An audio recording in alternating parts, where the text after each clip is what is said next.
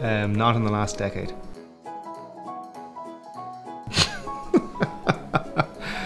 um, yeah, all the annoying ones are dead. Um, so um, I'd bring back Jon Snow if I could.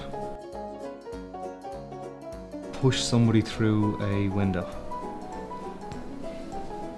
There's a lot more to that story, but probably best left unsaid. Um, half of Wexford. No. Very happy with that one. I have a doppelganger. I do. Uh, Dave Hewitt. He's uh, the lad who used to play rugby with Leinster, and the and the uh, evil guy from Karate Kid. The evil sensei from Karate Kid, apparently. So there's three of us in it.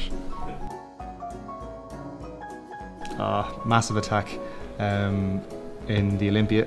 Um, first date with my missus, future missus. Actually, now that's quite relevant. I'd love to go for a whiskey with Tim Horan. He was my favourite player uh, growing up.